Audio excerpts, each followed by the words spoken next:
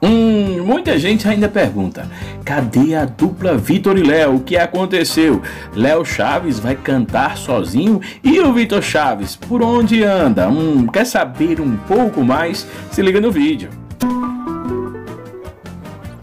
Fala galera, muita gente, mesmo acompanhando a música sertaneja, mesmo gostando da dupla Vitor e Léo, parece que não está bem ligado ao que está acontecendo no momento.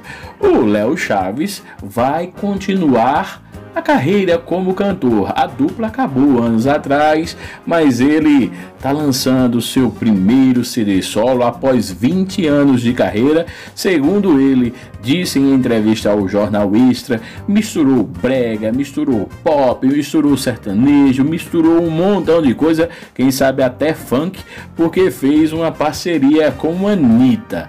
Bom, Muita gente pergunta, e aí a dupla Vitor e Léo, e Léo como anda, Vitor como anda? Bom, segundo o Léo Chaves, pode ser que daqui a um tempo, daqui a uns anos, daqui a uma década, a dupla volte.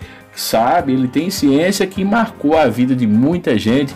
Tantas foram as músicas, o sucesso da dupla Vitor e Léo mas por enquanto ele quer investir na carreira solo, cantando o que ele gosta, como ele gosta, fazendo uma coisa talvez diferente do que ele fez. Todo mundo sabe que o Vitor se afastou da dupla depois daquela confusãozinha com a mulher, entre outras confusões, e aí o Léo Chaves querendo continuar sua carreira, querendo continuar blindando a sua imagem, preferiu não se envolver em polêmicas e aí segue sua carreira solo nos palcos como cantor e também no programa 4 4 ao lado de Xuxa na TV Record.